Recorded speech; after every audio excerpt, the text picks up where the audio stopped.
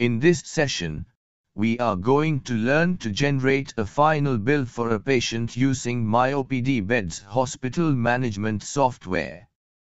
The final bill of the patient can only be generated after the patient is marked as discharged in the software. To start generating the final bill, click on the Final Bill button.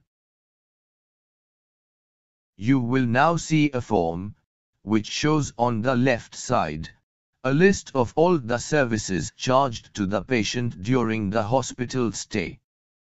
On the right, Using this drop-down, you can see all previous final bills of the patient issued by the hospital during previous admissions of the patient. This is useful if the patient wants to get a reprint of the previous final bill from the hospital. Use the discount section to enter any discount amount. This section shows the net payable amount, the amount already paid by the patient so far and the balance amount to be settled as a part of final billing process. Click on Accept Payment to enter the details of the final payment. You will now see a form which shows all the previous charged amounts of this patient during the current hospital stay. Each row will have one or more services.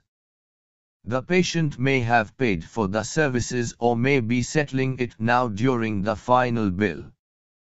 Here, we see that patient paid 10,000 at one point. That is why we have 10,000 as paid amount.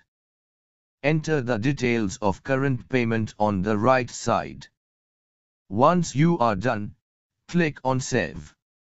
Now, on the main final bill form, you can preview the existing bill which contains the summary of the bill at top and a detailed bill as well.